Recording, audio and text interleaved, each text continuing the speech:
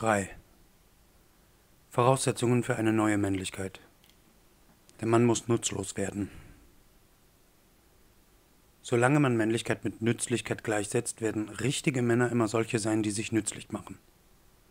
Die Einführung eines neuen Bewertungssystems für Männlichkeit würde daher voraussetzen, dass Männer für Frauen nicht nützlicher sind, als es umgekehrt der Fall ist. Erst wenn Ehe etwas anderes bedeutet, als dass der Mann für die Frau fast alles macht und die Frau für den Mann fast gar nichts, könnten Männer auf eine neue Art männlich werden. Auf eine Art, die mit ihrem Geschlecht und nicht wie bisher mit ihrer Verwertbarkeit zu tun hat. Wer also Männern eine weniger blamable Existenz oder sich selbst andere Männer wünschte, müsste am bisherigen sozialen Gefüge etwas ändern. Wie bereits gesagt, sollte man solche Änderungen weder gegen den Willen der Mächtigen noch gegen die Bedürfnisse der menschlichen Psyche durchsetzen wollen. Man müsste also bei der Suche nach einer brauchbaren Alternative zum einen berücksichtigen, dass unsere westliche Industriegesellschaft ein Matriarchat ist und zum anderen, dass Paare in Gemeinschaft leben und Kinder zeugen wollen. Reformbestrebungen, die weder die weibliche Macht noch das menschliche Bedürfnis nach dauerhaften Bindungen, Ehe, Familie berücksichtigen, sind von vornherein zum Scheitern verurteilt. Eine Lösung des bisher beschriebenen Problems müsste daher folgende Vorzüge haben. Erstens, sie müsste den Mann als ökonomischen Faktor für die Frau uninteressant machen, ohne jedoch das Wirtschaftsgefüge zu gefährden. Zweitens, es müsste sich um eine kollektive Maßnahme handeln. Männer, die ihre Situation in Einzelaktionen verändern wollen, vereinsamen rasch und machen sich daher bald wieder nützlich. Drittens, sie müsste nicht nur die Interessen der Männer, sondern auch die der Kinder und der älteren Menschen gegen die Frauen verteidigen. Man kann die Situation eines Schwachen nicht auf dem Rücken anderer Schwacher lösen. Viertens, sie müsste die Beibehaltung geschlechtstypischer Verhaltensweisen garantieren ohne männliches und weibliches Rollenverhalten wäre den meisten Menschen die Welt zu langweilig. Fünftens, sie müsste den Frauen gefallen. Der für sie vorgesehene Status müsste ihnen zumindest gleichwertig erscheinen. Eine Lösung, die diese Voraussetzungen erfüllen würde, wäre eine allgemeine Arbeitszeitkürzung auf fünf Stunden täglich, Einführung der 25-Stunden-Woche, begleitet von folgenden Maßnahmen. A. Gehaltskürzung, die der Kürzung der Arbeitszeit entspricht. B. Erhöhung der Sozialabgaben. C. Schülergehalt, das unabhängig vom Einkommen der Eltern und Verwandten alle materiellen Grundbedürfnisse derer deckt, die sich auf einen Beruf vorbereiten. Davon betroffen wären Kleinkinder, Schüler, Studenten, Lehrlinge und alle, die ihren Beruf wechseln wollen. D. Einjähriger Urlaub für Mutter oder Vater nach der Geburt eines Kindes, Sonderurlaub bei Erkrankung eines Kindes. E. Abschaffung von Kinderkrippen, Horten und Ganztagsschulen zugunsten von Fünf-Stunden-Kindergärten für Kinder ab einem Jahr und Fünf-Stunden-Unterricht in sämtlichen Schulen und Universitäten. F. Abschaffung des Pensionierungszwangs zugunsten selbstgewählter Pensionsgrenzen. G. Abschaffung des Rechts auf gleichwertige Arbeit zugunsten eines Rechts auf Umschulung. H. Verbot von Überstunden durch dieses Modell wäre die wichtigste Voraussetzung für eine neue Männlichkeit gegeben, denn wie wir noch sehen werden, würden nach einer solchen Reform auch die Frauen arbeiten, und sobald sie das täten, würden sie ihre Partner nach ganz anderen Gesichtspunkten auswählen als heute. Sie würden sie nicht mehr nach ihrer Nützlichkeit beurteilen, sondern nach ihrer Eignung für die Liebe. Doch prüfen wir zunächst die wirtschaftliche Realisierbarkeit all dieser Vorschläge, denn davon hängt alles weitere ab. Das Arbeitskräftepotenzial hat sich verdoppelt. Voraussetzung für jede Arbeitszeitkürzung ist die Sicherung der wirtschaftlichen Stabilität. Alle historischen Arbeitszeitkürzungen waren daher stets mehr die Folge ökonomischen Kalküls als humanitärer Überlegungen. Ein Faktor blieb dabei praktisch konstant, das Arbeitskräftepotenzial. Denn man konnte eigentlich nur mit der einen Hälfte der erwachsenen Bevölkerung rechnen, den Männern. Die Frauen waren häufig schwanger, mussten lange stillen, hatten viele Kinder und mussten einen komplizierten Haushalt versorgen. Arbeitszeitkürzungen waren daher entweder durch den Einsatz von Maschinen oder durch die Verbesserung der Leistungsfähigkeit der zur Verfügung stehenden Arbeitskräfte erreichbar. Wenn man Männer wo immer möglich durch Automaten ersetzte und ihnen außerdem längere Erholungspausen einräumte, verbrauchten sie sich langsamer. Ihre Gesamtleistung blieb dabei jedoch konstant oder konnte sogar gesteigert werden, das Wirtschaftsgefüge blieb intakt Seit der Erfindung der künstlichen Muttermilch, seit der Geburtenregelung durch Pille und Schwangerschaftsabbruch und seit der Teilautomatisierung der Hausarbeit befinden wir uns jedoch in einem neuen Zeitalter. Es gibt doppelt so viele Arbeitskräfte wie früher, denn auch Frauen können jetzt arbeiten. Dadurch ergeben sich für die Volkswirtschaft drei neue Möglichkeiten. A. Man kann Frauen anstelle von Männern arbeiten lassen. B. Man kann einen Teil der Frauen arbeiten lassen und dadurch die allgemeine Arbeitszeit etwas kürzen. C. Man kann beide Geschlechter gleich viel arbeiten lassen und dadurch die allgemeine Arbeitszeit erheblich kürzen. Weshalb die erste Alternative utopisch ist, wurde bereits erörtert. Die zweite ist bereits verwirklicht, ihr und der Automatisierung verdanken wir die 40 bzw. 45-Stunden-Woche und die Verlängerung des Jahresurlaubs.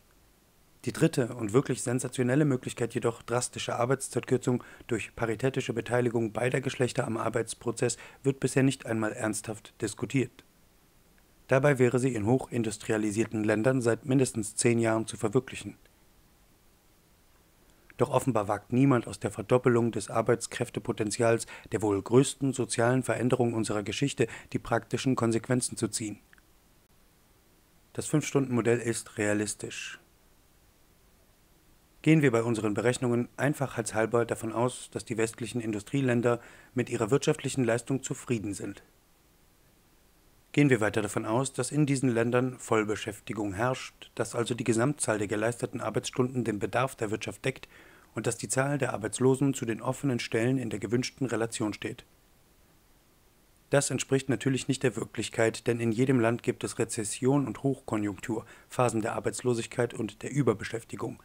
Doch für unsere Kalkulation sind diese volkswirtschaftlichen Aspekte zumindest im Augenblick nicht von Belang. Bedingung für die hier vorgeschlagene Reform wäre die Erhaltung des wirtschaftlichen Status quo des Landes, in dem sie durchgeführt wird. Denn obwohl es sich um eine Arbeitszeitkürzung aus humanitären Überlegungen handelt, darf das Funktionieren der Wirtschaft nicht zur Diskussion stehen. Reformen, die die Erhaltung bzw. Steigerung der wirtschaftlichen Leistung eines Landes nicht als eine ihrer wichtigsten Grundbedingungen ansehen, gehen letzten Endes immer zu Lasten jener, deren Lage sie ursprünglich verbessern sollten die Frage lautet daher, um wie viel ließe sich die Arbeitszeit in Industriestaaten reduzieren, bzw. wie ließen sich die Lebensbedingungen ihrer Bewohner humanisieren, ohne dass durch eine solche Maßnahme die Wirtschaft gefährdet würde. Stützen wir uns bei unserer Kalkulation auf Daten aus jenen westlichen Industrieländern USA, Kanada, Australien, Westdeutschland, Frankreich, Großbritannien, Belgien, Schweden, Dänemark, Finnland, Norwegen, Österreich, Schweiz in denen die 40-Stunden-Woche mehr oder weniger verwirklicht ist und in denen etwa jede zweite erwerbsfähige Frau bereits einen Beruf ausübt.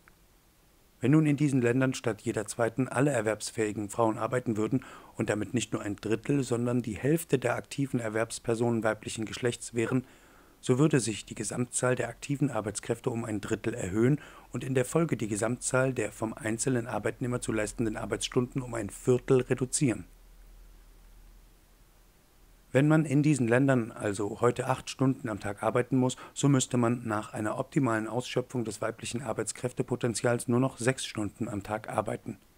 Diese Zahl ist natürlich ungenau und außerdem zu optimistisch. Sie berücksichtigt nicht, dass in den angeführten Ländern von den berufstätigen Frauen etwa ein Drittel nur stundenweise arbeitet. Sie berücksichtigt nicht, dass in den meisten dieser Länder Frauen durchschnittlich zwei bis fünf Jahre früher pensioniert werden als Männer. Sie berücksichtigt nicht die ein bis drei Jahre, die Männer wegen ihres Wehrdienstes als Arbeitskräfte ausfallen. Sie berücksichtigt nicht die Branchen, in denen die 40-Stunden-Woche noch in den Bereich der Utopie gehört, Freiberufliche oder Landwirte. Sie berücksichtigt nicht die Überstunden und die Schwarzarbeit der Männer. Sie berücksichtigt nicht die Dunkelziffer der nur aus steuerlichen Gründen in Familienbetrieben als erwerbstätig deklarierten Frauen und nicht die der aus den gleichen Gründen in Privathaushalten nicht deklarierten Zugehefrauen. Wenn man all diese Daten, soweit sie in den Statistiken der diversen Länder in Erscheinung treten, in die Kalkulation einbezieht, so kommt man auf eine durchschnittliche tägliche Arbeitszeit, die über sechs Stunden liegt zur Debatte steht hier jedoch nicht der Sechs- oder Sieben-, sondern der Fünf-Stunden-Tag. Dieser wäre möglich, weil eine drastische Herabsetzung des täglichen Arbeitspensums Auswirkungen auf Quantität und Qualität der Leistung hätte, die mit Sicherheit weitere Arbeitszeitkürzungen erlauben würde.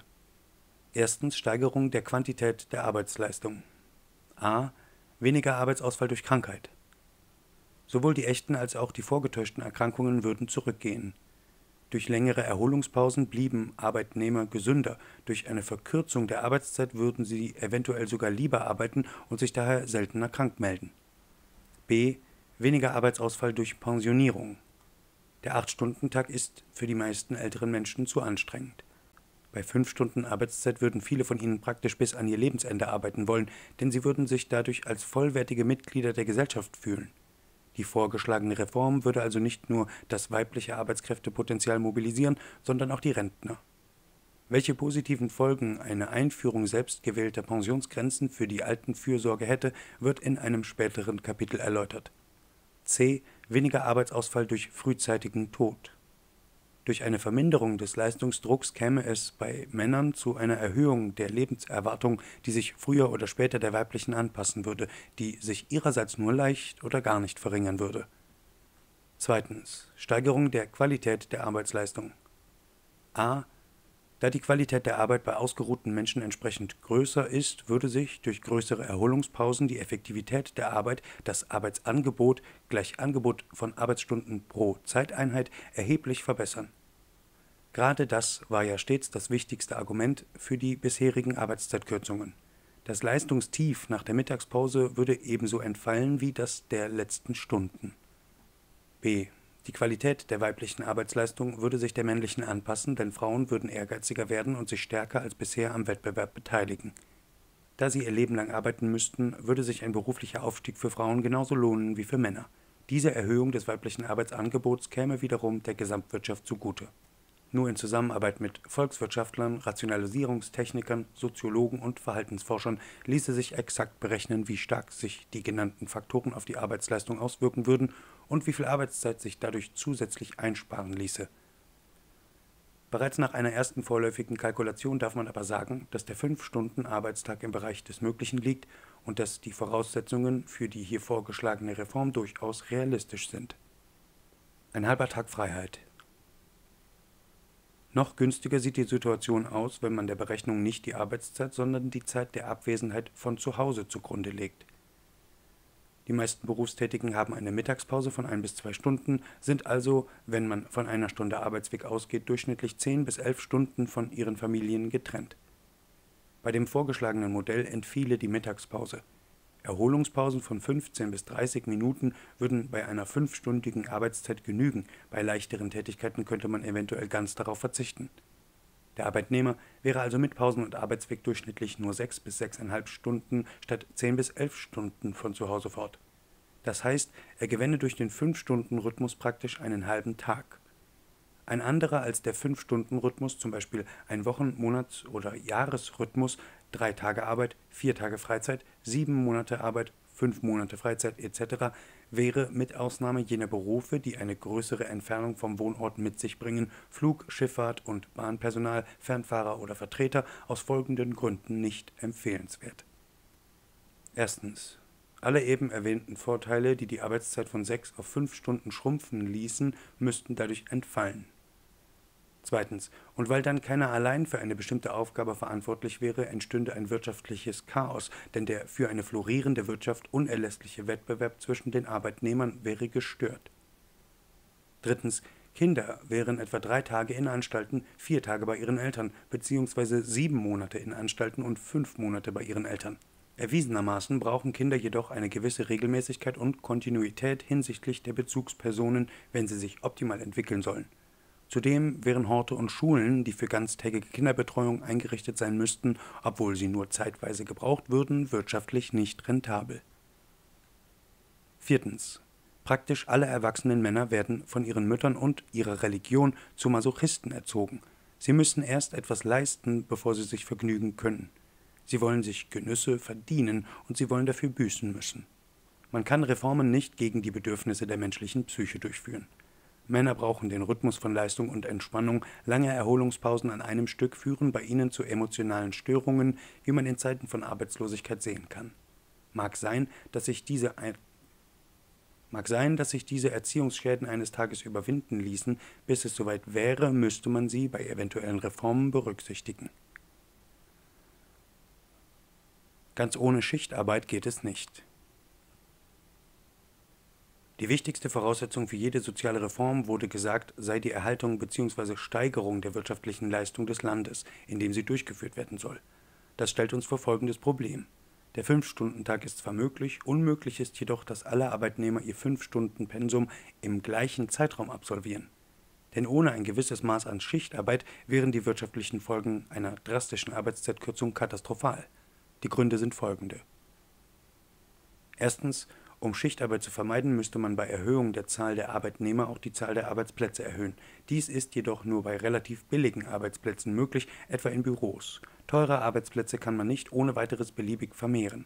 Hier ist es eher ratsam, die absolute Zahl zu verringern und mehr Arbeitnehmer an einem Arbeitsplatz zu beschäftigen.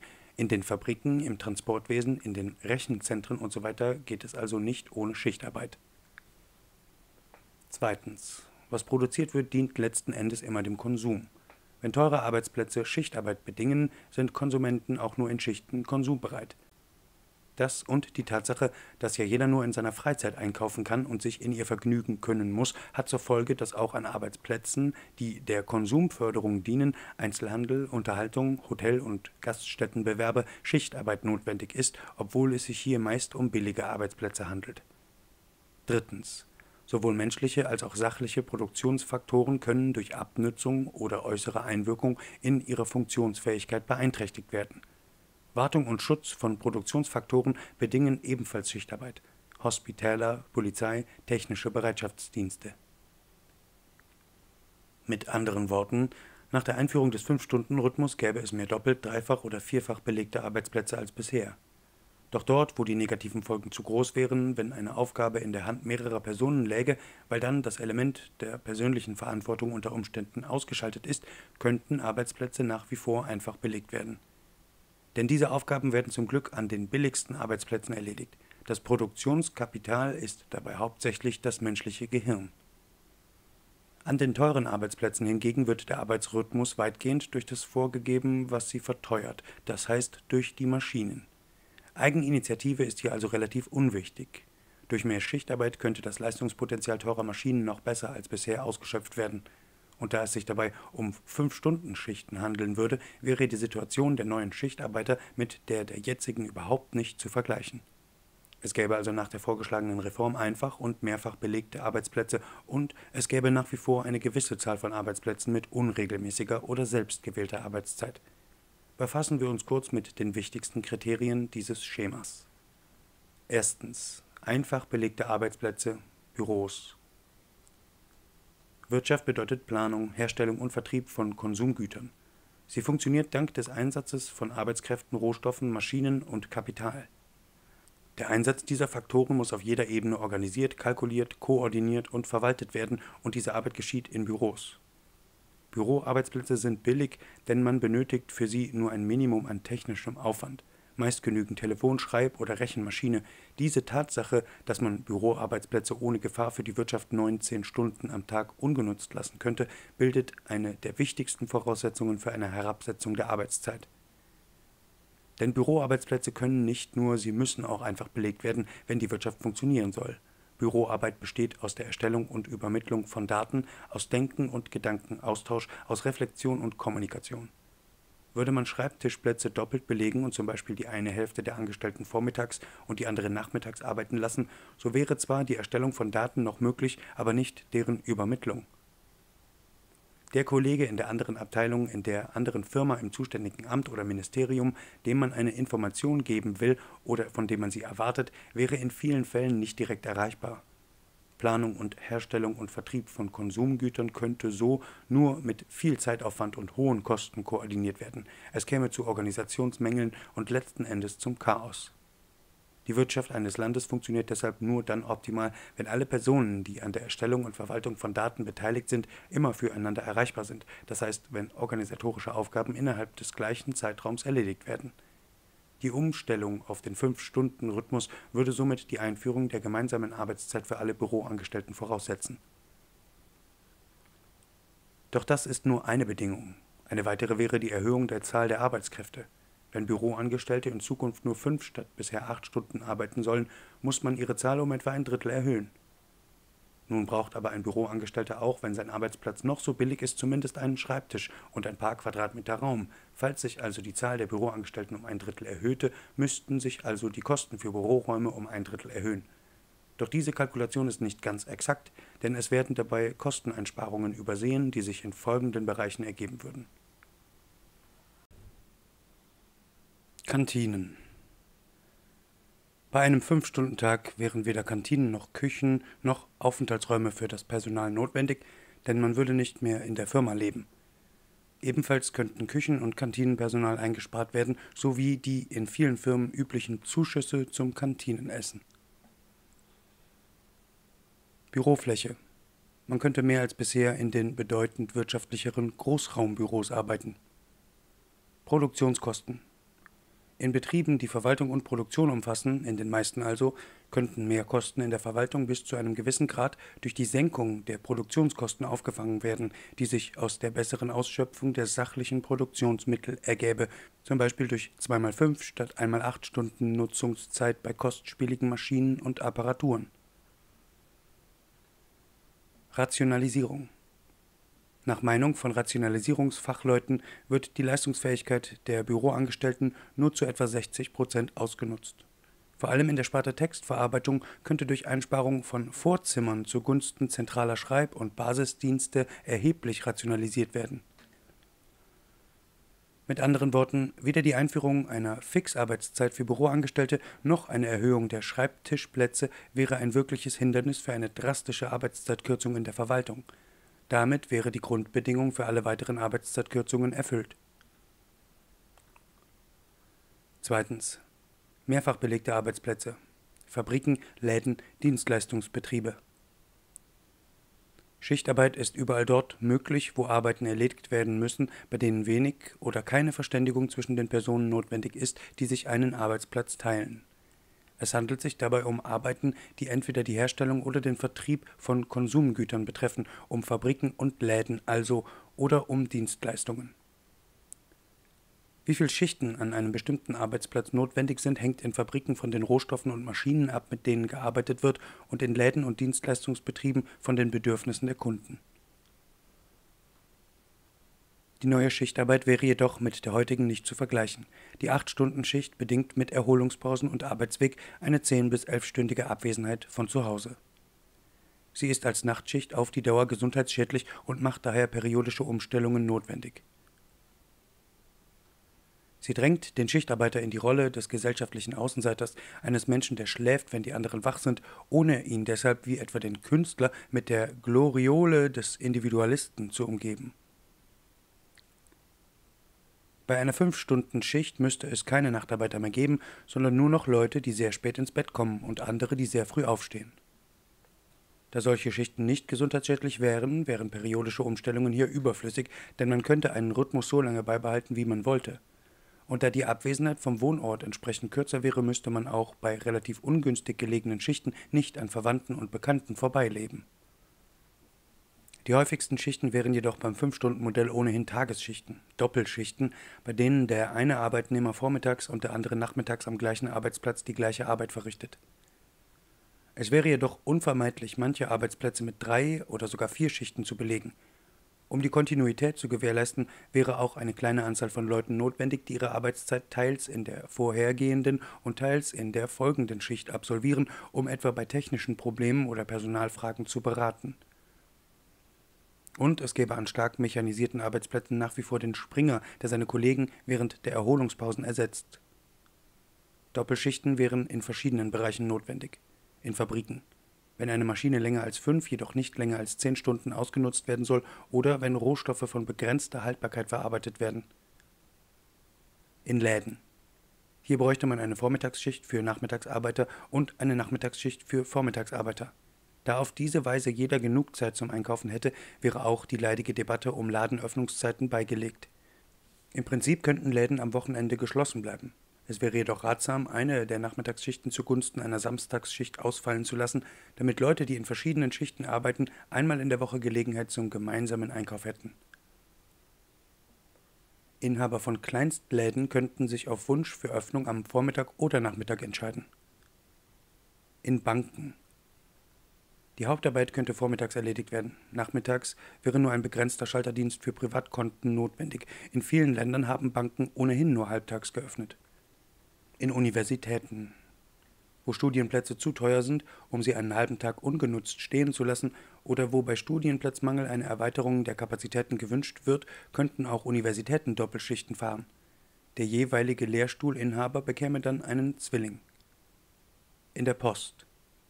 Schalterdienste müssten in Doppelschichten arbeiten. Der reguläre Zustelldienst in einfachen Schichten, die übrigen je nach Funktion in Doppel-, Dreier- oder Viererschichten. Doppelschichten wären außerdem notwendig in Werkstätten, Restaurants, Bibliotheken, Kinos und so weiter. Bei Dienstleistungen, die man normalerweise selten in Anspruch nimmt, wäre es ökonomischer, statt der Doppelschicht beim einfach belegten Arbeitsplatz zu bleiben und Berufstätigen etwa für den Gang zur Behörde wie bisher die notwendige Freizeit zur Verfügung zu stellen. Dreierschichten wären notwendig in Fabriken, bei teuren Maschinen, verderblicher Ware, in der Hochkonjunktur und im Personen- und Güternahverkehr sowie in Hotel- und Gaststättenbetrieben und so weiter. Viererschichten wären notwendig in Fabriken, wenn es rentabler ist, eine Maschine 24 Stunden arbeiten zu lassen oder wenn ein Arbeitsprozess nicht unterbrochen werden darf, wie etwa in der chemischen Industrie oder in der Eisen- und Stahlerzeugung. Ebenso in Krankenhäusern, bei Sicherheits- und Bereitschaftsdiensten und so weiter. Da der Tag 24 Stunden hat, müssten Viererschichten sechs Stunden Schichten mit einer Stunde Erholungspause sein, die durch Springer überbrückt wird. Es wären jedoch auch Fünferschichten denkbar. Die unbeliebteste Schicht könnte dann bei gleicher Bezahlung eine Stunde weniger dauern. Drittens Arbeitsplätze mit unregelmäßiger Arbeitszeit, Wanderjobs oder Saisonarbeiter. Tätigkeiten, die eine größere Entfernung vom Wohnort mit sich bringen, könnten dem Fünf-Stunden-Modell nicht angepasst werden. Dazu gehört zum Beispiel die Arbeit von Flugzeugs-, Schiffs- und Zusatzbesatzungen, die des Fernfahrers, Vertreters und so weiter. Ebenso wenig lässt sich die Arbeitszeit von stark saisonbestimmten Berufszweigen wie etwa die des Landarbeiters in ein Fünf-Stunden-Schema zwängen. Hier lässt sich die Arbeitszeitkürzung nur über den Umweg Urlaubsverlängerung verwirklichen. Viertens. Arbeitsplätze mit selbstgewählter Arbeitszeit. Selbstständige. Anwälte und Ärzte mit eigener Praxis, Landwirte mit eigenem Hof, Politiker, freischaffende Künstler usw.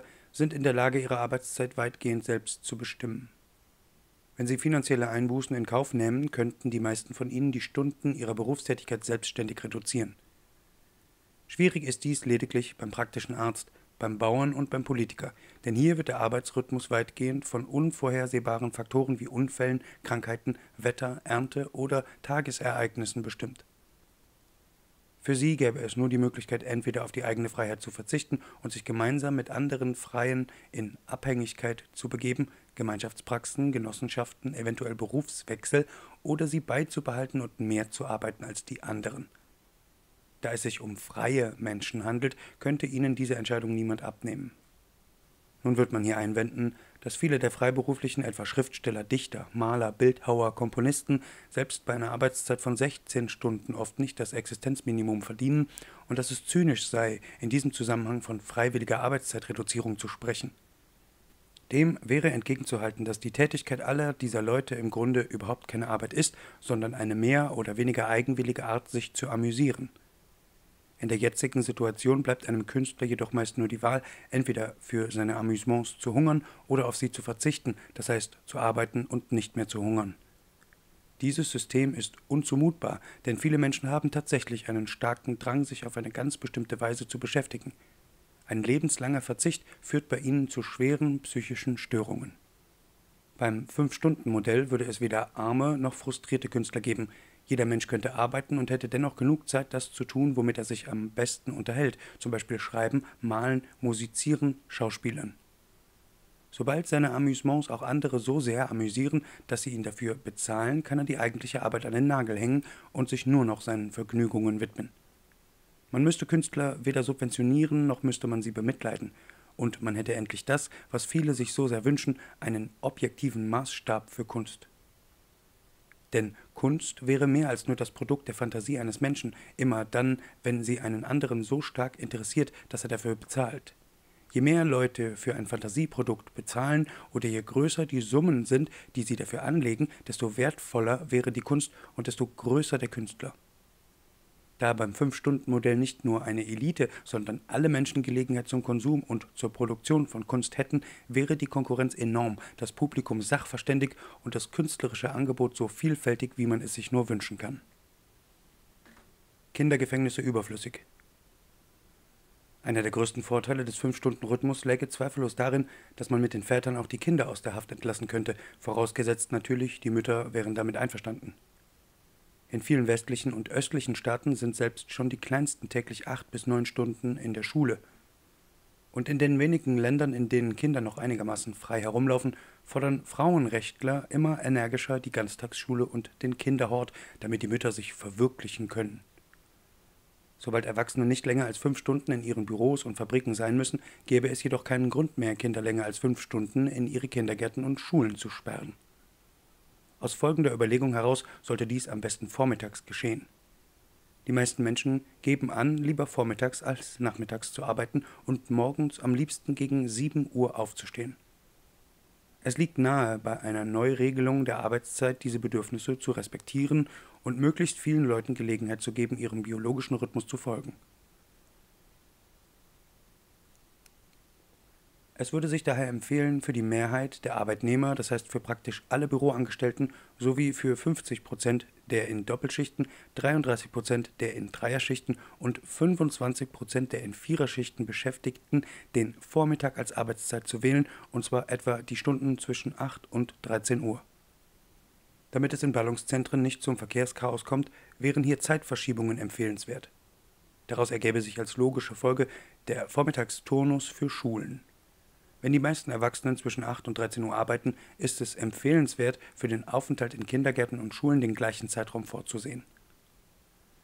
Auf diese Weise wären Kinder entweder unter der Obhut ihrer Lehrer oder ihrer Eltern, das heißt, sie wären immer behütet, ohne deshalb allzu lange eingesperrt zu sein. Auch Lehrkräfte hätten demnach eine Arbeitszeit von 8 bis 13 Uhr, was das Heer der Vormittagsbeschäftigten weiter vergrößern würde.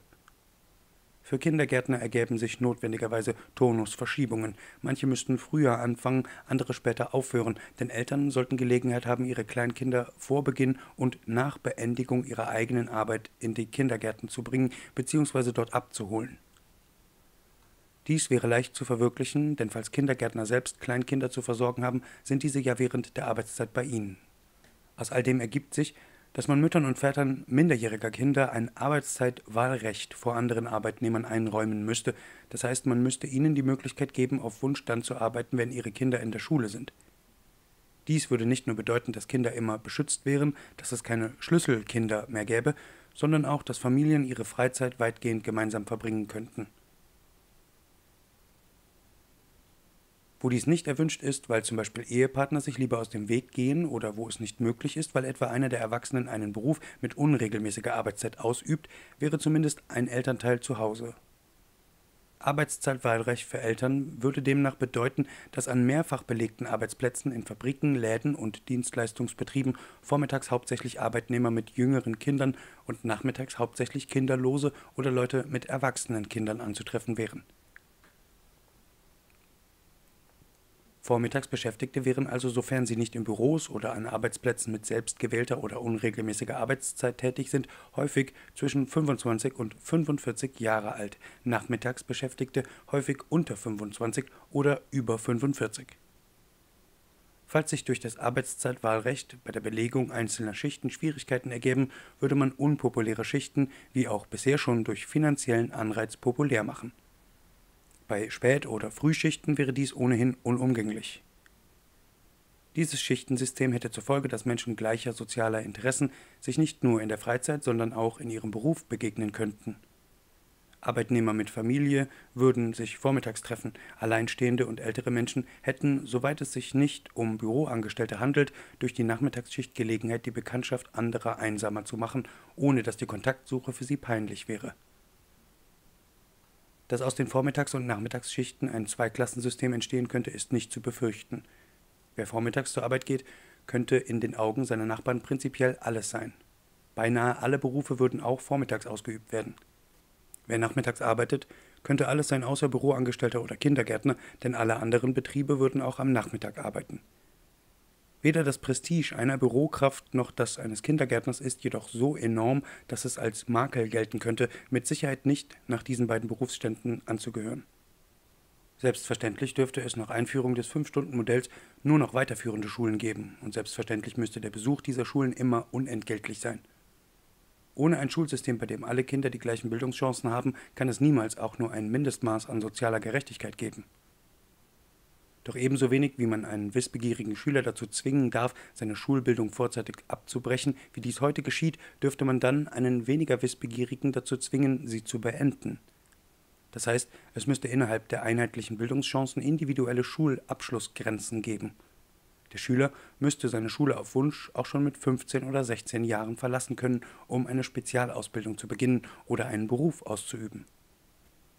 Natürlich müssten mit dieser Schulreform auch die vielerorts noch immer üblichen Hausaufgaben entfallen. Wenn Erwachsene nur fünf Stunden arbeiten, dürfte man auch von Kindern keine Überstunden verlangen. Die prompte Erledigung von Hausaufgaben ist ohnehin eher ein Indiz für das Engagement der Eltern als für das der Schüler. Da auch der Bildungsgrad der Eltern sehr unterschiedlich ist, akzentuieren Hausaufgaben lediglich die sozialen Unterschiede unter den Schülern. Dass diese durch Hausaufgaben nichts dazulernen, ist experimentell hinlänglich nachgewiesen. Hausaufgaben fördern auch nicht die Selbstdisziplin. Ein Schüler macht Hausaufgaben, weil er sich vor seinen Lehrern oder seinen Eltern fürchtet. Gerade Selbstdisziplin kann er wegen dieses Zwangs nicht lernen. Zur Übung selbstständigen Arbeitens könnte ein Teil der Schulstunden verwendet werden. Nach Ende des Unterrichts müsste ein Schüler jedoch genauso frei sein wie seine Eltern. Damit soll nichts gegen Lernzwang und Benotung gesagt sein. Da vermutlich mit einem Appell an den guten Willen nur bei wenigen Schülern etwas zu erreichen wäre und da nur wenige Lehrer geniale Pädagogen sind, wird Lernzwang ein Bestandteil jedes Schulunterrichts sein müssen. Der Sinn der Schule besteht ja nicht darin, eine wissbegierige Elite heranzuzüchten, sondern möglichst vielen Menschen in möglichst kurzer Zeit möglichst viel beizubringen. Dies ist weniger eine soziale Idee als eine Frage des Überlebens. Wie man weiß, steht sowohl der Lebensstandard als auch das demokratische Verhalten der Bewohner eines Landes in direkter Beziehung zu deren Bildungsstand. Die Bildung der Massen liegt also aus ganz eigennützigen Gründen im Interesse jedes Einzelnen. Hierzu ist es jedoch nicht notwendig, Kinder den ganzen Tag in Schulen zu stecken. Eine drastische Kürzung der Anzahl der Unterrichtsstunden muss keineswegs zu einem niedrigeren Bildungsniveau und zu einer Herabsetzung der beruflichen Leistung führen obwohl beispielsweise die Bundesrepublik Deutschland das westliche Industrieland mit den wenigsten Unterrichtsstunden ist, zählt sie zu den führenden Wirtschaftsmächten. Das Bildungsniveau westdeutscher Abiturienten genießt im Ausland einen beinahe legendären Ruf. Der Fehler bei den herkömmlichen Schulsystemen, auch bei dem westdeutschen, liegt darin, dass man den Lernzwang auch auf die Freiheit ausdehnt und dass davon auch Fächer betroffen werden, für die man sich normalerweise freiwillig interessieren würde oder bei denen ein allgemeines Desinteresse keine wirtschaftlichen und sozialen Folgen hätte. Indem die Schule das Unlustgefühl, das man etwa mit einer Mathematikaufgabe oder einem Schulaufsatz verbindet, durch ein unerbitterliches Benotungssystem auch auf Fächer wie Zeichnen, Handarbeit, Sport oder Musik überträgt, verdirbt sie einem die Freude an diesen Dingen häufig für alle Zeit. Menschen, die nicht gern malen, werken, singen oder Sport treiben, gibt es eigentlich kaum. Sie werden in den Schulen erst gezüchtet. In den Schulunterricht gehören daher prinzipiell nur solche Fächer, die man im späteren Leben braucht, jedoch ohne Zwang nur unvollkommen oder gar nicht lernen würde. Das heißt Schreiben, Lesen, Rechnen, Fremdsprachen, Grundkenntnisse in Biologie, Erdkunde, Sozialkunde, Geschichte, Physik, Chemie, Politologie und so weiter. Was man sowieso können möchte oder sowieso nicht können muss, sollte nicht mehr vormittags zwangsweise, sondern nachmittags freiwillig erlernt werden. In Frage kämen dabei Fächer wie Sport, Werken, Handarbeit, Kochen, Zeichnen, Fotografieren, Musik, Tanz, Schauspielerei und so weiter. Der Unterricht in diesen Fächern würde ebenfalls im Schulgebäude stattfinden, es gäbe jedoch weder Noten noch Leistungszwang oder Anwesenheitspflicht. Es wäre wie in einem Club, dem man beitreten und verlassen könnte, wie es einem passt. Die wichtigste Funktion dieses Schulclubs wäre jedoch, Kindern, die zu Hause nicht recht glücklich sind, etwa weil sie in zu beengten Wohnverhältnissen leben müssen, keine Geschwister haben oder sich von ihren Eltern schlecht behandelt fühlen, während ihrer Freizeit eine Zuflucht zu bieten. Da Schulclubs kaum mehr Kosten verursachen würden, die Räume sind bereits vorhanden und stünden andernfalls leer, die Pädagogen sind größtenteils engagiert und müssten lediglich außerhalb des regulären Schulbetriebs unterrichten, gäbe es auch keine unüberwindbaren finanziellen Schwierigkeiten. Selbstverständlich müssten Schulclubs ebenso wie Kindergärten auch und gerade während der Schulferien den Betrieb aufrechterhalten. Doch auch das wäre keine finanzielle Belastung, denn die Gehälter der Schulclubpädagogen müssten ja ohnehin weiter bezahlt werden. Logischerweise hätten diese dann nicht die enorm langen Ferien anderer Lehrkräfte, doch da ihre Arbeitsweise angenehmer wäre, wären sie dafür indirekt entschädigt. Während der Schulferien müssten Schulclubs allerdings vormittags statt nachmittags geöffnet sein, damit Kinder während der Arbeitszeit ihrer Eltern nicht allein sein müssten. An Universitäten könnte man, wie bereits erwähnt, durch Doppelschichten und eine drastische Verkürzung der Semesterferien die Ausbildung von Wissenschaftlern erheblich verbilligen.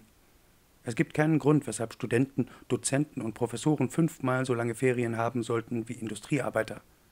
Diese Privilegien kommen aus einem nicht mehr zeitgemäßen Standesdenken und belasten auf ungebührliche Weise den Staatshaushalt. Durch eine Kürzung der Hochschulferien von durchschnittlich 20 auf vier Wochen könnte man die heutigen Studienzeiten trotz des Fünf-Stunden-Rhythmus ohne weiteres einhalten. Durch eine doppelte Nutzung der vorhandenen räumlichen Kapazitäten und der teuren Laborplätze könnte man die Zahl der Studenten ohne weiteres verdoppeln. Universitätsprofessoren und Dozenten, die wissenschaftlich arbeiten wollen, könnten bei ihren vorgesetzten Behörden nach wie vor um Sonderbeurlaubung oder Reduktion der Pflichtstundenanzahl einkommen. Man verdient die Hälfte und lebt trotzdem besser.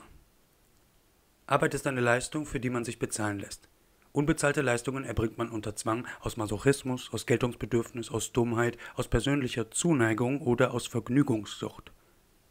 In der Regel wird jeder Mensch, der etwas macht, was andere brauchen können, auch dafür honoriert, und in der Regel gibt es niemand, der etwas Brauchbares umsonst machen würde. Auch Hausfrauen beziehen Gehälter, nur werden sie eher unbürokratisch von ihren Ehemännern ausgehändigt. Welchen Manipulationen sie ihre Überbezahlung verdanken, wurde bereits an anderer Stelle beschrieben. Die Tatsache, dass man Geld braucht und dass man normalerweise nur für Geld arbeitet, ermöglicht der Gesellschaft über Löhne und Gehälter eine weitgehende Kontrolle der Lebensbedingungen des Individuums. Sie beeinflusst damit seine Sicherheit, seinen Komfort und seine Freiheit. Doch da die Gesellschaft ja aus lauter Individuen besteht, ist dies in demokratisch regierten Ländern ungefährlich. Wenn die Mehrheit von einer bestimmten Maßnahme unangenehm betroffen wäre, wird sie diese von vornherein nicht akzeptieren. Die Allgemeinheit kann daher durch allgemeine Maßnahmen, durch Gesetze die soziale Situation der Individuen verbessern, verschlechtern kann sie sie nicht. Eine der Möglichkeiten für soziale Verbesserung bietet die Unterschiedlichkeit von Löhnen und Gehältern, denn im Allgemeinen wird man Quantität und Qualität seiner Arbeitsleistung nur dann steigern, wenn eine Lohnerhöhung winkt und sich nur dann der Mühe eines längeren Studiums unterziehen, wenn man dadurch von Anfang an eine bessere Gehaltsstufe bekommt. Lobreden und sonstige Auszeichnungen sind als Anreiz für dauerhafte Leistungssteigerungen ohne Wirkung.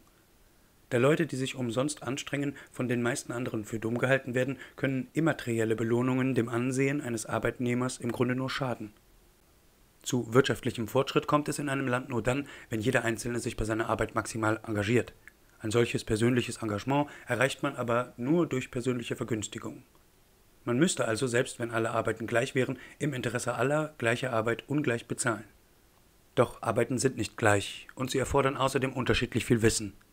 Die Allgemeinheit hat demnach ein doppeltes Interesse an ungleicher Bezahlung. Nur wenn man schwierige, gefährliche, strapaziöse, langweilige oder abstoßende Arbeiten besser honoriert als andere, steht immer eine ausreichende Zahl von Dienstleistungen zur Verfügung.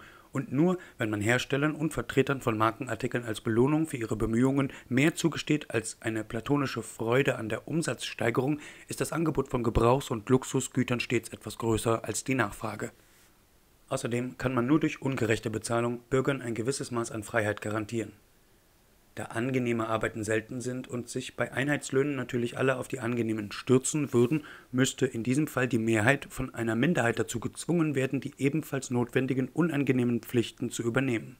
Abgesehen vom Verlust an dynamischer Wirtschaftspotenz, den dies zur Folge hätte, würde es de facto die Abschaffung der Meinungsfreiheit bedeuten, denn wenn man die Mehrheit zwingt, etwas zu machen, was sie nicht will, dann muss man früher oder später auch verhindern, dass sie dagegen agitieren kann.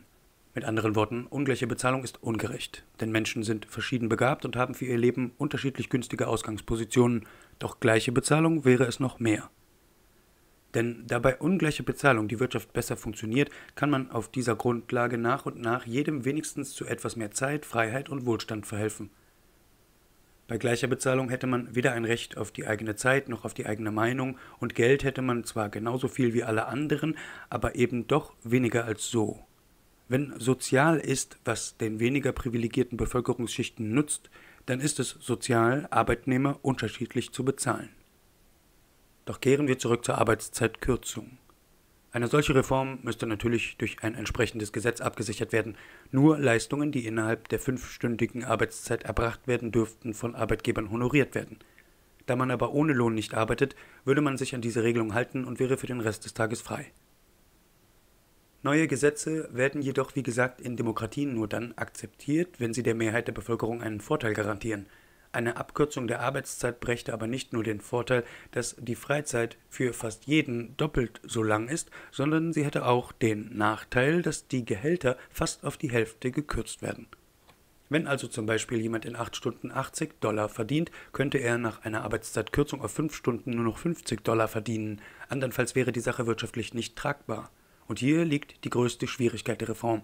Ohne entsprechende Vorbereitung wären Arbeitnehmer mit einer Kürzung ihres Einkommens nicht einverstanden. Sie würden hier die vorgeschlagene Herabsetzung der Arbeitszeit mit Kurzarbeit verwechseln, einer in Krisenzeiten von einzelnen Unternehmen praktizierten Maßnahme zur Lohneinsparung und das Projekt zurückweisen. Der erste Schritt zu einer gesetzlichen Neuregelung wäre daher eine Aufklärungskampagne auf breitester Ebene. Berufstätige müssten begreifen, dass sie durch die Reform zwar mehr Zeit, aber trotz der notwendigen Gehaltskürzung nicht weniger Geld hätten. Denn in der jetzigen Situation darf man seinen Lohn ja nicht behalten. Im Allgemeinen finanziert man damit nicht nur sein eigenes Leben, sondern auch das der sogenannten abhängigen Personen. Nach der Reform wäre jeder in der Lage, sich finanziell selbst zu versorgen. Keiner müsste sein Geld länger mit Hausfrauen, Kindern und anderen Bedürftigen teilen, denn solche Bedürftigen gäbe es nicht mehr. Erst wenn dies allen klar wäre, könnte man sich an die Formulierung eines Gesetzes wagen. Das moralische Prinzip der hier vorgeschlagenen Lohnreform wäre folgendes. Menschliche Gemeinschaften werden zum Schutz gegen eine feindliche Umwelt errichtet und funktionieren auf der Grundlage von Arbeitsteilung. Wer freiwillig in der Gesellschaft anderer lebt, hat daher nicht nur einen Anspruch auf Schutz durch sie, sondern auch die Pflicht, sie seinerseits zu beschützen. Er ist vom gesellschaftlichen Standpunkt nicht nur Rechtsträger, sondern auch Arbeitskraft. Wer nur von seinen Rechten Gebrauch macht, den Pflichten jedoch auszuweichen sucht, lebt auf Kosten anderer und ist für eine Gemeinschaft ein Parasit. Wie bereits gesagt, wird dieses Parasitentum in westlichen Gesellschaften am erfolgreichsten von Frauen und am spektakulärsten von Kriminellen praktiziert. Beide drücken sich vor ihren Verpflichtungen und bürden sie dadurch indirekt anderen auf. Durch die Reform könnte man weibliches Parasitentum weitgehend unmöglich machen, und da Arbeit, sobald Frauen so viel arbeiten würden wie Männer, viel von ihrem Schrecken verlieren würde, weil das Pensum und die Verantwortung des Einzelnen ja erheblich geringer wären, gäbe es als Folge weiblicher Gleichverpflichtung auch weniger Kriminalität. Denn in der heutigen Situation bleibt für einen Mann, der auf Frauen nicht verzichten will, Verbrechen oft die einzige Möglichkeit, dem deprimierenden Schicksal seines Geschlechts zu entgehen und nur deshalb sind Straffällige in westlichen Industrieländern auch zu 80 Prozent männlich. Nach Humanisierung der Arbeitszeit und nach Aufhebung der Preisbindung für die Benutzung der weiblichen Vagina wäre manchem das Risiko einer kriminellen Handlung zu groß. Im Augenblick ist es ziemlich gleichgültig, ob ein Mann eine Familie gründet oder ob er sich ohne diesen Umweg hinter seine Mauern begibt. Nach der Reform wäre aber draußen ein Stück Freiheit und die Gesellschaft von Frauen wäre einerseits preiswerter und andererseits interessanter als jetzt. Lernen wird honorarpflichtig. Die Reform müsste also davon ausgehen, dass wir alle gleichberechtigt und gleich verpflichtet sind, doch sie müsste auch berücksichtigen, dass wir nicht alle gleich sind. Der eine braucht Hilfe, der andere kann sich selber helfen, der eine kann seinen Verpflichtungen nachkommen, der andere tut sich damit schwer. Vom gesellschaftlichen Standpunkt sind wir wohl alle Arbeitskräfte, doch vom biologischen sind wir es nicht, denn wir können aufgrund unserer körperlichen Verfassung vorübergehend oder ständig arbeitsunfähig sein. Wer zu jung, zu alt oder zu krank ist, wer sich auf einen Beruf vorbereitet, wer ein Kind zur Welt bringt oder einen Säugling zu versorgen hat, der kann nicht arbeiten. Er ist eine potenzielle Arbeitskraft, da er seiner Gemeinschaft mit seiner Leistung zu einem späteren Zeitpunkt nützen wird oder ihr früher einmal genutzt hat, ist er genau wie die aktiven Arbeitskräfte zum Empfang eines regelmäßigen Einkommens berechtigt. Alte Menschen, Kranke, Frauen vor und nach der Entbindung beziehen in fortschrittlichen Ländern bereits Gehälter. Damit die hier vorgeschlagene Reform wirklich praktikabel wird, müsste jedoch außerdem das Gehalt für Menschen in Berufsausbildung und das Gehalt für Säuglingspfleger eingeführt werden. Das Schülergehalt wäre all denen zuzugestehen, die sich auf einen Beruf vorbereiten. Dazu gehören auch Kinder, denn dass sie sich von Geburt an in einem ständigen Lernprozess auf ihre späteren Aufgaben in der Gesellschaft einstellen, nützt schließlich nicht nur ihnen selbst, sondern auch den anderen. Aus diesem Grund zwingen wir sie ja auch zur Ausbildung. Es herrscht Schulpflicht. Es wäre daher nur gerecht, sie für ihre Bemühungen zu honorieren. Wie sehr wir von einer solchen Maßnahme alle profitieren würden, wird in einem anderen Teil dieses Buches beschrieben werden.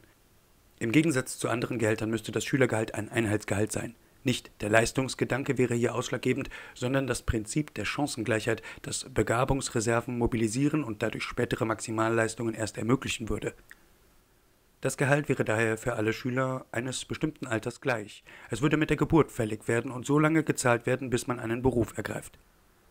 Für diese Zeit müssten dadurch alle Mindestbedürfnisse Nahrung, Kleidung, Wohnraum gedeckt werden können. Schulbesuch und Studium wären, wie bereits erwähnt, ohnehin kostenlos. Das Schülergehalt würde sich an den allgemeinen Lebenserhaltungskosten orientieren. Auszuzahlen wäre es zu einer bestimmten Altersgrenze an die Eltern, von deren Einkommen es jedoch unabhängig wäre. Die Gerechtigkeit wäre dabei durch die Steuergesetzgebung garantiert und später an den Schüler selbst. Dass wegen des Schülergehalts zu viele Menschen zu lange studieren würden, ist nicht zu befürchten, da der Betrag lediglich die Mindestbedürfnisse decken würde, wäre jemand, der mit 15 oder 16 eine Lehre begonnen hat, mit 20 auf jeden Fall finanziell besser gestellt als ein Student.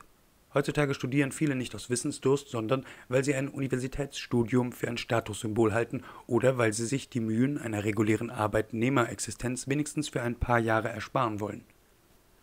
Wenn wirklich jeder in der Lage wäre zu studieren, wenn die Arbeitszeit nur noch fünf Stunden betragen würde und wenn Studenten nicht mehr viermal so lange Ferien hätten wie andere Menschen ihres Alters, hätten wir eine völlig neue Situation. Natürlich müssten sich auch Erwachsene, die mit ihrem Beruf unzufrieden sind, vorübergehend auf das Schüler- bzw. Studentengehalt zurückversetzen lassen können und Gelegenheit erhalten, einen Beruf zu erlernen, der ihnen mehr zusagt. Es liegt im allgemeinen Interesse, dass sich jeder an seinem Arbeitsplatz einigermaßen wohl fühlt, denn davon hängt zum großen Teil seine Leistung ab.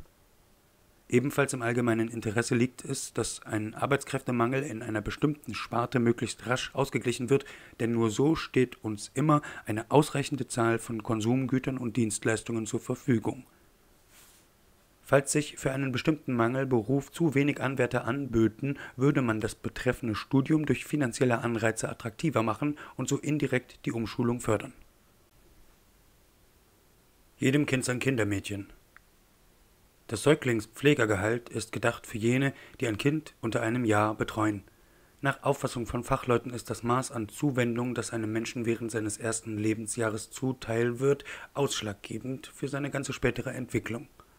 Da es also im allgemeinen Interesse liegt, Kleinstkinder optimal zu betreuen, denn abgesehen von der ethischen Perspektive sind geistig zurückgebliebene Menschen ja auch eine allgemeine finanzielle Belastung, ist es empfehlenswert, jedem Kind unter einem Jahr eine eigene Pflegeperson zur Verfügung zu stellen. Der Weg dazu wäre die vom Staat finanzierte Lohnfortzahlung für Betreuer von Kleinstkindern für die Dauer eines ganzen Jahres. Dabei wäre es nebensächlich, in welchem Verhältnis der Betreuer zu dem Kind steht. Es könnte die Mutter sein, der Vater, ein Verwandter oder auch ein von den Eltern erwählter Fremder. Denn falls weder Mutter noch Vater Lust zeigen, bei dem Neugeborenen zu bleiben, wäre es im Interesse des Kindes wenig sinnvoll, sie dazu zu verpflichten. Wer die Pflege seines Kindes als Belästigung empfindet, ist für diese Aufgabe mit Sicherheit nicht geeignet. Selbstverständlich hätten kranke Kinder auch nach dem ersten Lebensjahr ein Recht auf einen eigenen Pfleger. Die Betreuung durch Mutter oder Vater würde nicht nur die Genesungschancen erhöhen, sie wäre auch billiger als ein Krankenhaus- oder Heimaufenthalt. Um einen Missbrauch vorzubeugen, müsste die Erkrankung allerdings von einem Vertrauensarzt bestätigt werden. Auch dürften die finanziellen Lasten nicht dem Arbeitgeber, sondern müssten dem Staat aufgebürdet werden. Normal entwickelten, gesunden Kindern aber könnte man nach Vollendung des ersten Lebensjahres ohne weiteres einen fünfstündigen Kindergartenaufenthalt zumuten. Der regelmäßige Kontakt mit Gleichaltrigen wäre von da an sogar unbedingt notwendig. Das Pflegergehalt entspräche jeweils dem letzten Monatsgehalt des Betreuers. Denn falls es niedriger wäre oder wie beim Schülergehalt ein Fixum, würde in einer Familie immer derjenige zu Hause bleiben, bei dem die Kürzung den geringsten finanziellen Verlust brächte. Da die Frauen sich zunächst nach allgemeinen Wettbewerbsbedingungen in die Berufswelt einfügen müssten, hätten sie während einer gewissen Übergangszeit im Durchschnitt meist kleinere Gehälter als ihre Partner, die aufgrund ihrer langjährigen Berufstätigkeit und nicht zuletzt aufgrund der Kriterien, nach denen sie von ihren Frauen zur Heirat ausgewählt wurden, natürlich in höheren Gehaltsstufen wären Dies würde bedeuten, dass nach wie vor Frauen das Privileg hätten, bei ihren Kindern zu bleiben und dass zumindest für das erste Lebensjahr das weibliche Erziehungsmonopol weiterhin intakt bliebe. Und es würde auch bedeuten, dass Frauen in ihrer beruflichen Laufbahn um so viele Jahre zurückgeworfen wären, wie sie Kinder bekämen, und dass das Gejammer von der Diskriminierung niemals aufhören würde. Dass in der Praxis aus ganz anderen Gründen, auf die wir später noch eingehen werden, wahrscheinlich trotzdem meist die Mütter und nicht die Väter bei ihren Kindern blieben, braucht uns bei der Formulierung einer allgemeinen Regelung nicht zu interessieren. Es handelt sich hier darum, Männer und Frauen unter Berücksichtigung der jeweiligen biologischen Gegebenheiten endlich gleiche Möglichkeiten einzuräumen. Was sie denn auf dieser neuen Grundlage miteinander machen, wer von ihnen kochen, chauffieren, Windeln wechseln oder Rasen mähen würde, wäre im juristischen Sinn eine private Vereinbarung, die die Öffentlichkeit nichts angeht. Natürlich gäbe es in Familien, in denen keiner der beiden Elternteile nach der Geburt eines Kindes mit der Berufstätigkeit aussetzen möchte und auch kein Fremder als Betreuer engagiert werden soll, noch die Möglichkeit einer Turnusverschiebung. So könnte immer ein Elternteil bei dem Säugling sein, Vater und Mutter müssten nur in verschiedenen Schichten arbeiten. Mitleid wird billiger. Wie dem auch sei, die Sozialausgaben würden steigen. Denn zusätzlich zu Alters-, Kranken- und Schwangerenrenten wäre der Staatshaushalt nun auch noch mit Schüler- und Säuglingspflegerenten belastet. Doch auch das wäre kein unlösbares Problem, denn diese Gelder könnten zum einen durch Einsparungen aufgebracht werden, die sich aus der Reform selbst ergäben, und zum anderen durch eine allgemeine Erhöhung der Sozialabgaben. Zu Einsparungen käme es auf folgenden Gebieten. Erstens in der Frauenfürsorge. Die Ausbildung des weiblichen Teils der Bevölkerung ist in der jetzigen Situation vom wirtschaftlichen Standpunkt für jeden Staat eine gigantische Fehlinvestition. Denn einerseits sind Männer und Frauen zwar gleich und haben auch den gleichen moralischen Anspruch auf eine optimale Berufsausbildung, doch andererseits sind sie auch verschieden. Da Frauen Kinder bekommen, kann man nicht von ihnen verlangen, dass sie eine auf Kosten der Allgemeinheit genossene Berufsausbildung später so anwenden, dass sie für diese Allgemeinheit rentabel wäre. Eine Rückzahlung der vergeblich investierten Ausbildungsgelder liegt außerhalb des Möglichen. Die Belastung träfe ja einen Mann, der ohnehin bereits seine nicht erwerbstätige Partnerin und Kinder zu versorgen hat. Wenn man bedenkt, wie viele Frauen in westlichen Industrieländern eine Berufsausbildung erhalten und wie wenige von ihnen diese später voll auswerten, kann man sich ungefähr vorstellen, welche Summen der Allgemeinheit jedes Jahr durch die Chancengleichheit entgehen. Selbstverständlich soll hier nicht die moralische Berechtigung dieser Chancengleichheit zur Debatte stehen und die politische schon gar nicht. Eine Regierung, die Frauen nicht subventioniert, könnte nicht überleben. Zur Debatte steht lediglich, wie man den Riesenetat für Frauenfürsorge wenn man jemand etwas gibt, von dem man eigentlich nichts erwarten darf, handelt es sich immer um Fürsorge, endlich in eine sinnvolle Investition umwandeln könnte. Nach der hier vorgeschlagenen Reform wäre die Berufsausbildung der Frauen genauso rentabel wie die der Männer, weil die Frauen genauso arbeiten würden wie die Männer. Frauen würden weder in Stundenjobs dahin vegetieren, noch hätten sie Gelegenheit, in oft jahrzehntelangen Ruhepausen ihre kostspielig erworbenen Kenntnisse wieder zu vergessen. Vor allem in akademischen Berufen, in denen Chancengleichheit besonders viel kostet, jeder dritte Student in westlichen Industrieländern ist weiblich, ein Studienplatz an öffentlichen Universitäten verschlingt in Frankreich und Westdeutschland die Steuergelder von fünf Familien, würde sich dies bezahlt machen.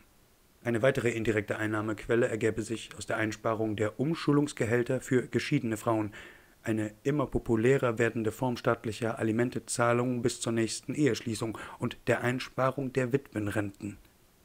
Nach der Reform wäre Witwe wieder die Bezeichnung für einen Menschen, der trauert und nicht für eine bestimmte Art von Gehaltsempfängern. Zweitens in der Altenfürsorge. Bei einer täglichen Arbeitszeit von fünf Stunden wäre Arbeit meist keine so große Strapaze, die heutigen Pensionsgrenzen wären damit überholt. Selbstverständlich wäre es deshalb nicht opportun, sie abzuschaffen, denn es soll ja alles besser werden und nicht schlechter. Das Recht auf Pensionierung bliebe bestehen, nicht aber die Verpflichtung, sich in einem Alter zur Ruhe zu setzen, in dem sich die meisten Menschen normalerweise noch jung und leistungsfähig fühlen. Pensionierung wäre als eine Art Krankmeldung zu verstehen, wobei der Patient ab 60 oder 65 seine Erkrankung nicht mehr nachweisen müsste. Dass er zu seiner Arbeit keine Lust mehr hat, würde als Rechtfertigung genügen. Falls er es wünschte, könnte er jedoch bis an sein Lebensende berufstätig bleiben. Dass ihm dies schmackhaft gemacht würde, wäre eine wichtige Aufgabe der Allgemeinheit.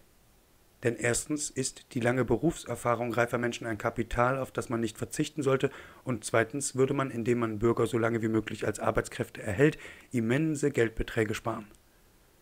Zum einen bei den Altersrenten und zum anderen indirekt bei der Altenfürsorge.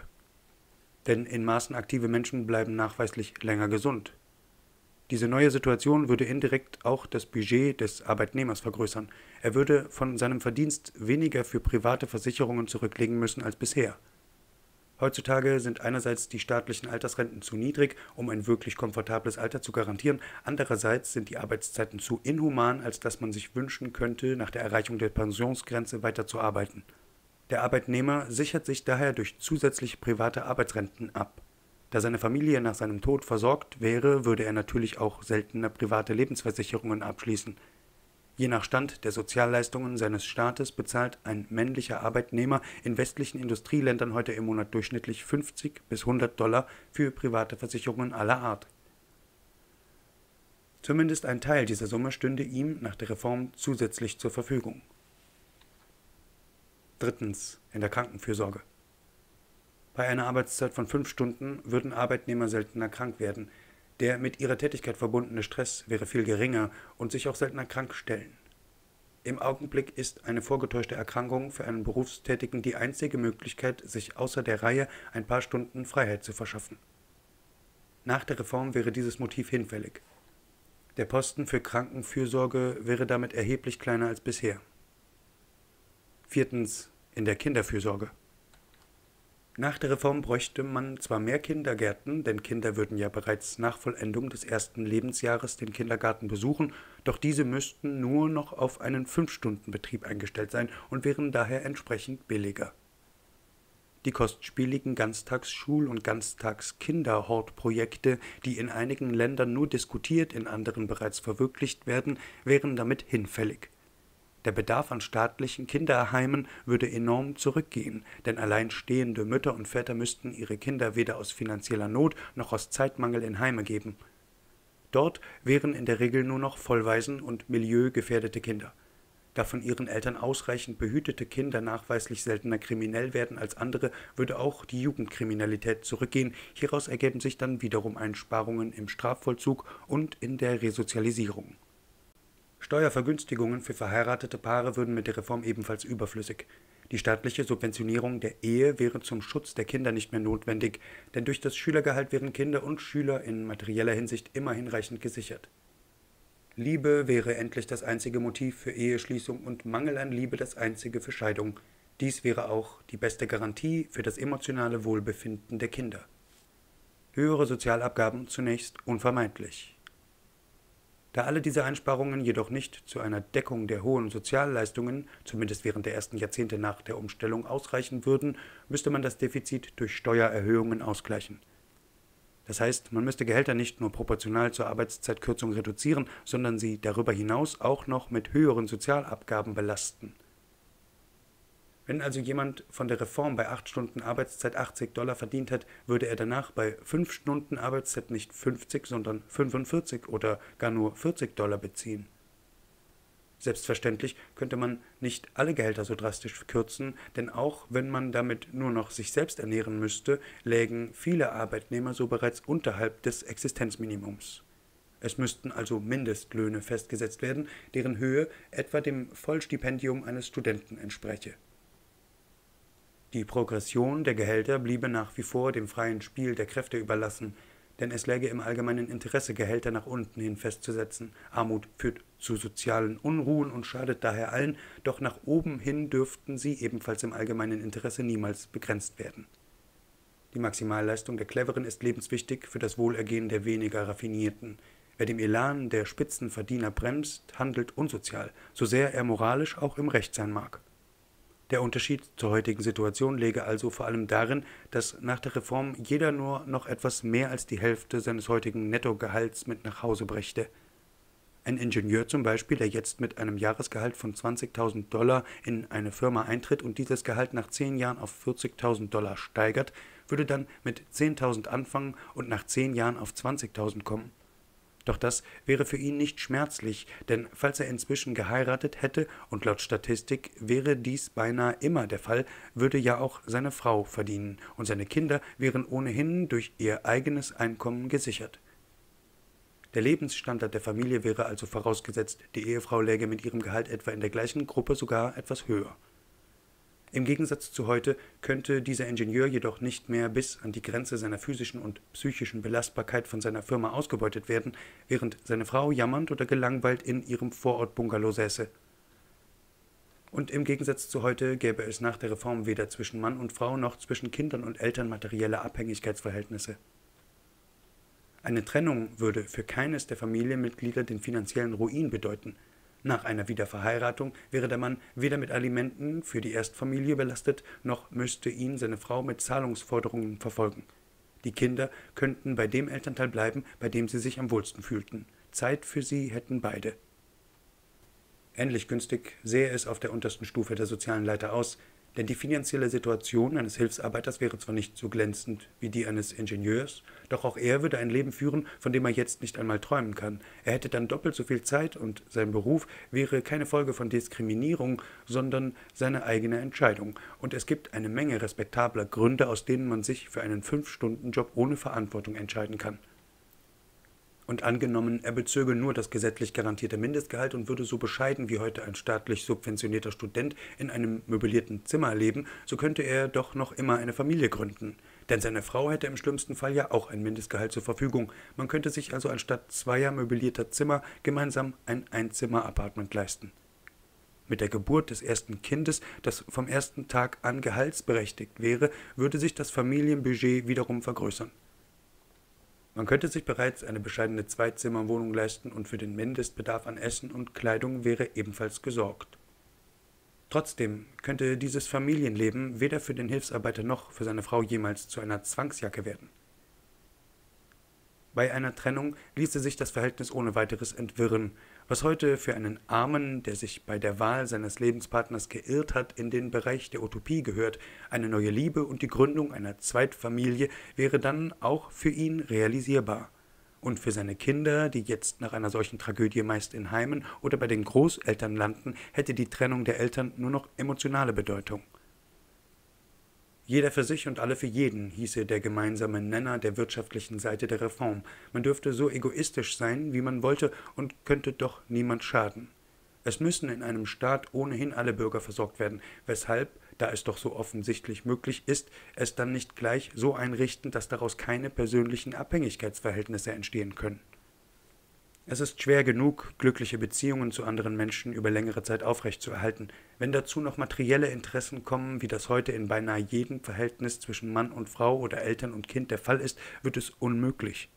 Zumindest diese eine Schwierigkeit wäre durch eine neue Lohnpolitik ein für allemal aus der Welt geschafft. Das Modell in wirtschaftlichen Ausnahmesituationen.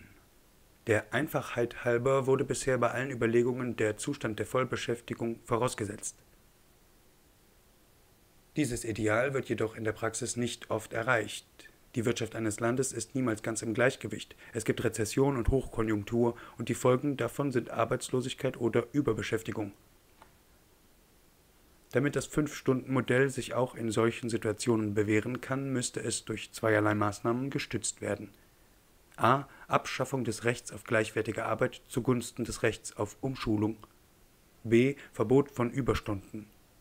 Auf dem kapitalistischen Arbeitsmarkt bestimmt die Nachfrage das Angebot. Der Einzelne offeriert eine Leistung und die anderen entscheiden, ob sie damit etwas anfangen können. Falls sie sie nicht brauchen, stellt er sich um und bietet ihnen etwas anderes an. Ausschlaggebend ist immer der Bedarf. Was den anderen nichts nützt, müssen sie auch nicht bezahlen. In diesen unerbittlichen, aber zuverlässigen Mechanismus hat sich nun in einigen westlichen Industrieländern ein unberechenbarer Faktor eingeschlichen, das Recht auf zumutbare oder gleichwertige Arbeit.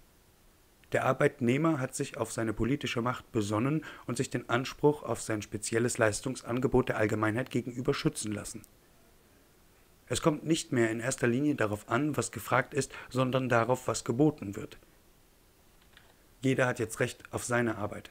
Etwas prinzipiell anderes zu machen als das, was er gelernt hat, eine bedeutend weitere Entfernung zum Arbeitsplatz oder eine geringere Bezahlung in Kauf zu nehmen, ist ihm nicht zuzumuten. Ein stellungsloser Architekt kann also nicht gezwungen werden, als Lastwagenfahrer zu arbeiten, selbst wenn alle Transportunternehmen seines Landes sich wegen Arbeitskräftemangels in wirtschaftlichen Schwierigkeiten befinden oder zu diesem Zweck ausländische Arbeitskräfte angefordert werden müssen. Wenn er will, kann er ein ganzes Jahr lang bei nur mäßig reduziertem Einkommen auf eine freie Stelle warten. Hat er auch dann noch nichts gefunden, erhält er Sozialhilfe. Es wurde also in den Mechanismus von Angebot und Nachfrage ein dirigistisches Element eingeführt, denn in der Praxis bedeutet die Klausel von der Zumutbarkeit einer Tätigkeit nichts anderes als Zwangsbewirtschaftung des Arbeitsmarktes durch den Arbeitnehmer. Bei Hochkonjunktur ist das unwichtig, denn es gibt ohnehin Arbeitskräftemangel in allen Branchen und niemand hat Schwierigkeiten in seinem Beruf eine Anstellung zu finden.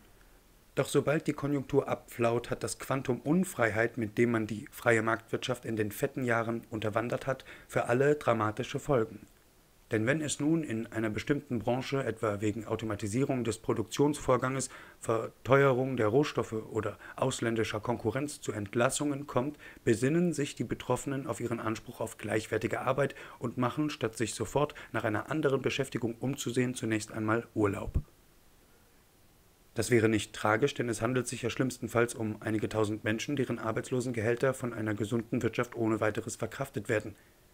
Doch da die politische Opposition diese Arbeitslosen sofort als erste Opfer einer drohenden Wirtschaftskrise serviert, das ist ihre Chance und zugleich ihre Pflicht, wird die Bevölkerung beunruhigt. Vom Gespenst einer Massenarbeitslosigkeit geschreckt, schraubt jeder seinen privaten Verbrauch zurück und spart für schlechte Zeiten – dieser Konsumverzicht führt zum Rückgang der Konsumgüterproduktion, die in westlichen Industrieländern immerhin 52 bis 56 Prozent der Gesamtproduktion ausmacht und wenn eine nationale Flaute zwangsläufig auch auf die Handelspartner übergreift, von denen man ja nur weniger kauft, auch zum Rückgang des Exports.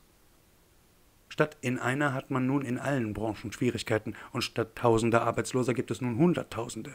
Und obwohl die Zahl der offenen Stellen sich kaum verringert, wird die finanzielle Belastung durch jene, die zunächst einmal auf zumutbare Tätigkeiten warten und die unzumutbaren nach wie vor den Ausländern überlassen, von Tag zu Tag größer und das konsumfeindliche Verhalten der noch zumutbar Beschäftigten immer ausgeprägter. Außerdem wird die Zahl der Arbeitslosen noch dadurch erhöht, dass sich in Krisenzeiten viele Hausfrauen ihrer früheren Berufstätigkeit entsinnen und sich pro forma auf Arbeitssuche begeben. Sie erhalten dann die finanzielle Unterstützung der Arbeitslosen, während die Gefahr, dass sie in ihrem früheren Job wirklich Arbeit finden, relativ gering ist. Dieses opportunistische Verhalten der Frauen erhöht wiederum die Panik der anderen, die ja nichts über die Motive der Arbeitslosen erfahren, da lediglich die offiziellen Zahlen mitgeteilt werden. Um die Gefahr zu verringern, dass ein solcher Teufelskreis überhaupt entstehen kann, müsste man daher bei einer Einführung des Fünf-Stunden-Modells das Recht auf gleichwertige Arbeit streichen. Es ist klar, dass in der jetzigen Situation Arbeitnehmer auf diese Schutzklausel den allergrößten Wert legen müssen, denn solange Arbeit und Leben für einen Berufstätigen dasselbe sind, ist das Recht auf seine Arbeit für ihn die einzige Möglichkeit, sein Leben zu vermenschlichen. Er akzeptiert zwar die Tatsache, dass er die meiste Zeit an seinem Arbeitsplatz verbringen muss, will sich aber wenigstens ungefähr aussuchen können, was er dort tut, und dank seiner Macht als Wähler konnte er sich diesen Anspruch auch verbriefen lassen. Durch das Fünf-Stunden-Modell nehme das Berufsleben eines Menschen nur noch einen kleinen Teil seines Lebens ein und der Schutz einer bestimmten Tätigkeit wäre daher nicht mehr so wichtig wie bisher.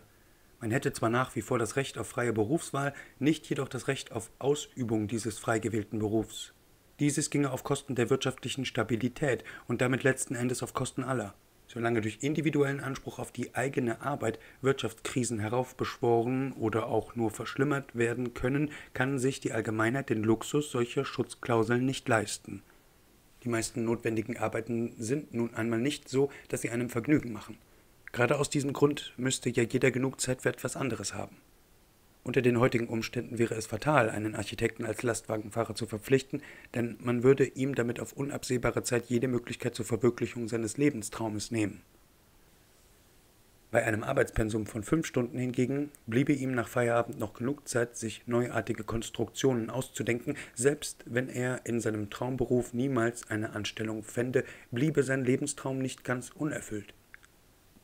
Jeder Bürger wäre in gewisser Hinsicht ein kleiner Unternehmer mit einem kleinen unternehmerischen Risiko, dem Risiko der Berufswahl. Natürlich müsste eine gut funktionierende Arbeitsmarktforschung dafür sorgen, dass man sich einigermaßen über die Zukunftsaussichten des gewählten Berufs im Klaren sein kann. Ergreift man jedoch trotz aller Warnungen einen bestimmten Beruf, so ist man für die Folgen schlechte Bezahlung wegen eines Überangebots an Arbeitskräften, geringes Sozialprestige, zeitraubende Umschulung selbst verantwortlich. Ein Akademikerproletariat wäre als Opfer seiner eigenen Prestigesucht zu betrachten und alles andere als subventionswürdig.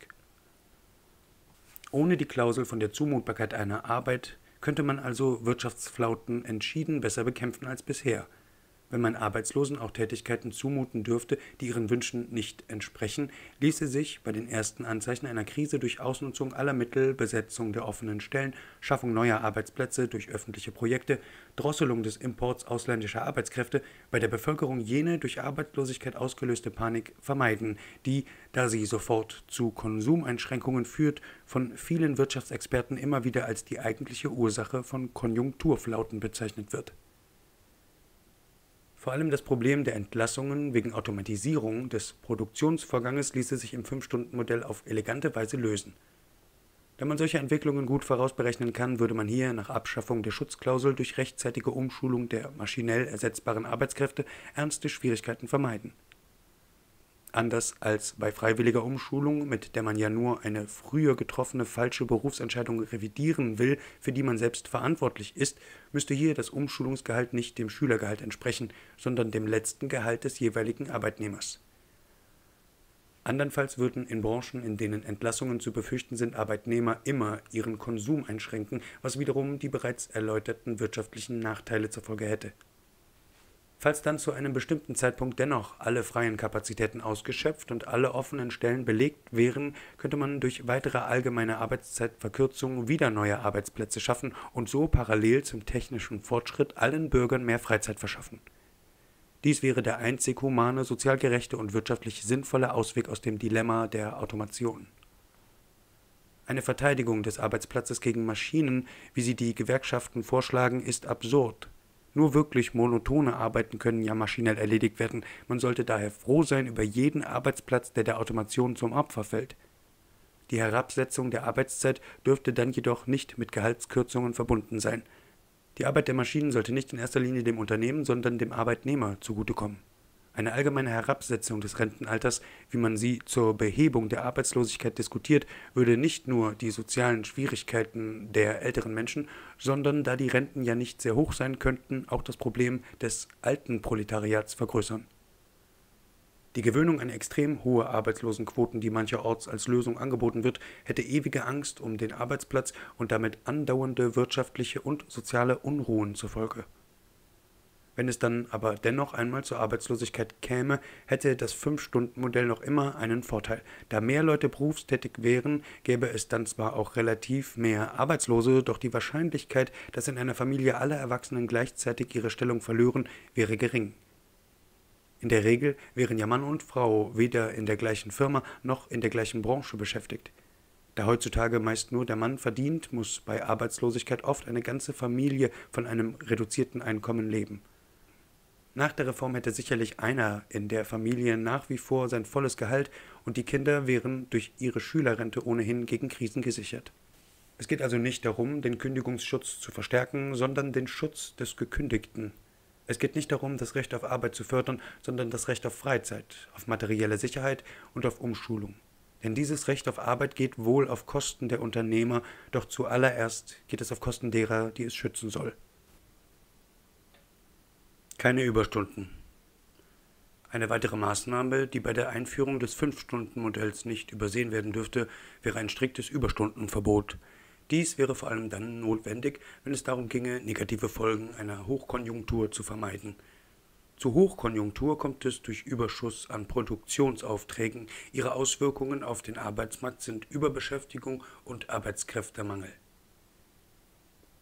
In dieser Lage gerieten viele Arbeitnehmer in die Versuchung, Überstunden zu machen und vielleicht sogar doppelt oder dreimal so lange zu arbeiten, als sie müssen.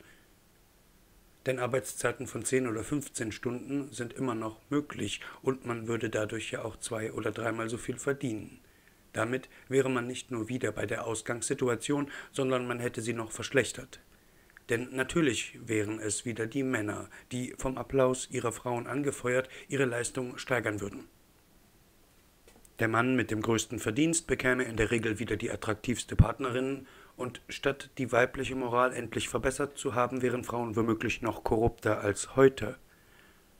Es dürfte also nach der Reform keine Möglichkeit für Überstunden geben, es sei denn, es handelte sich wirklich um ganz kurzfristige Engpässe und echte Ausnahmesituationen, deren Grenzen jedoch vom Gesetzgeber genau abgesteckt werden müssten. Zur Bewältigung größerer momentaner Auftragsschwemmen müssten Unternehmen Sondervollmachten bekommen.